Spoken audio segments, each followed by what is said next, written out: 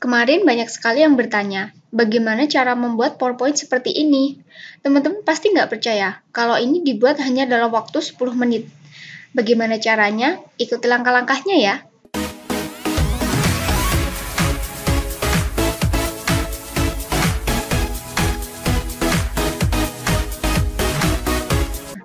Jadi kemarin itu saya menemukan uh, website baru untuk teman-teman yang bisa digunakan. Mungkin ada yang sudah tahu atau mungkin ada yang belum. Jadi kita bisa membuat PowerPoint secara instan. Jadi teman-teman tidak perlu harus ahli dalam PowerPoint. Yang penting masuk ke website itu saja nanti teman-teman pasti akan bisa membuat PowerPoint. Jadi caranya silahkan connect internet ya teman-teman. Kemudian kita buka Google Chrome atau Mozilla atau yang mana terserah. Kemudian silahkan teman-teman buka alamat ini ya. Silahkan diketik saja nanti slidego slidesgo.com. Ini ya alamatnya.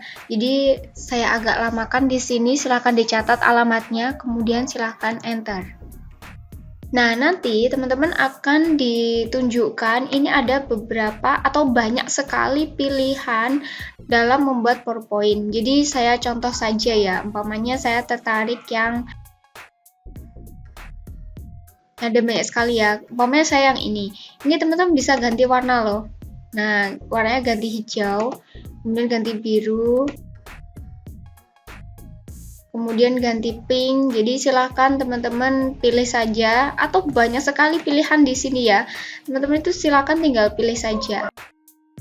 Ini seumpama saya ada contoh satu ya, yang mana tadi, umpamanya yang ini ya. Silahkan teman-teman klik layarnya ini, silahkan diklik. Nah, nanti silahkan tunggu sebentar. Ini ya, tadi kan sudah saya sampaikan ada banyak warna. Nah, ini bisa dipilih warnanya.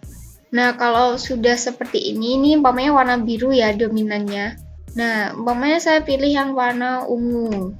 Nah, nanti di sebelah kanan itu ada download a PowerPoint template. Nah, ini silahkan diklik. Nah, nanti kalau sudah kita klik download ini, maka dia otomatis mendownload ini ya. Jadi ini silahkan ditunggu sampai selesai. Nah, ini sangat cocok untuk teman-teman mahasiswa dan juga teman-teman dosen ya dalam membuat PowerPoint sangat memudahkan kita sekali gitu. Nah, ini kalau sudah berhasil di-download, kita klik ini show in folder. Sekarang coba kita buka ya. Ini sudah keluar di sini. Silahkan kita buka. Nah, ini teman-teman uh, kalau pakai PowerPoint ini pasti tugasnya itu sangat ringan akhirnya karena tinggal masukkan kata-katanya saja dan template-nya itu sudah jadi gitu ya. Nah, seperti ini juga kita enable editing di sini ya. Nah, di sini kalau kita lihat secara keseluruhan, mungkin di sini. Nah, ini kalau dilihat itu sangat bagus gitu ya, teman-teman ya. Nah, seperti ini. Jadi kita tinggal mengisi saja ini tadi kan hanya contoh. Teman-teman bisa mencari yang lain seperti punya saya kemarin itu kan juga apa namanya itu juga download dari situ gitu. Meskipun biasanya juga membuat sendiri, tapi kemarin itu saya coba pakai itu dan ternyata itu sangat bagus seperti ini ya teman-teman. Nah itu tadi. Kemudian kalau ingin menggunakannya bagaimana? Nah jadi teman-teman itu kalau saya saran ya, saya saran itu di copy dulu jadi ini di close dulu ya. Silahkan di copy. Nah ini. Karena nanti kan kita mau edit-edit. Jadi supaya tetap punya file itu gitu ya. Nah ini umpamanya tugas PPT gitu ya umpamanya.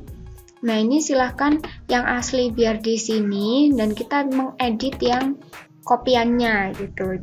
Jadi enak nanti mengerjakannya mau diedit-edit itu terserah kita gitu ya Nah, terus selagi kita menunggu, mungkin teman-teman itu silahkan isi kolom komentar ya. Mungkin ingin tutorial apa besok, atau mungkin ada pertanyaan apa, itu silahkan diisi ya teman-teman. Nah, di sini umpamanya saya ini judulnya gitu ya. Ini silahkan diklik ini saja, diklik hurufnya. Umpamanya ini langsung diganti itu bisa. Umpamanya judul tugas gitu. Nah, itu bisa. Nah, ini umpamanya saya beri nama.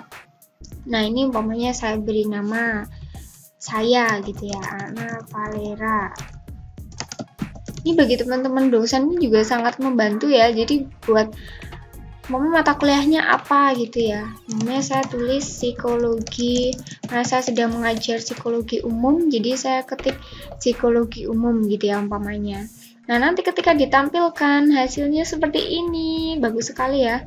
Kemudian kalau isi-isinya itu bisa ya teman-teman itu sesuaikan. Nah, ini ada quotes ya. Terus umpamanya teman-teman mau umpamanya menggunakan yang ini ya. Umpamanya ini menggunakan ini. Kalau teman-teman ingin menggunakan ini lagi, maunya nggak mau yang ini kan selanjutnya ini.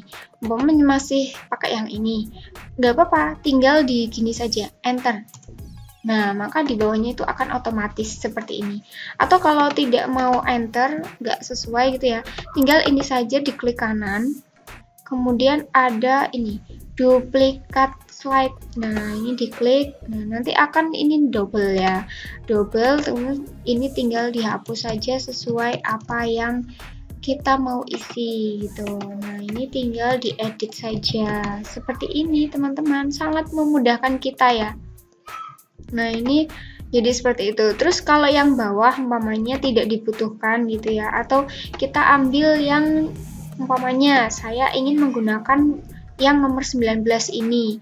Mudah ya teman-teman ya. Umpamanya saya pakai 19 ini. Saya klik tahan ya. Klik tahan kemudian tarik ke sesudah angka 7 sini. Atau diletakkan di mana gitu ya.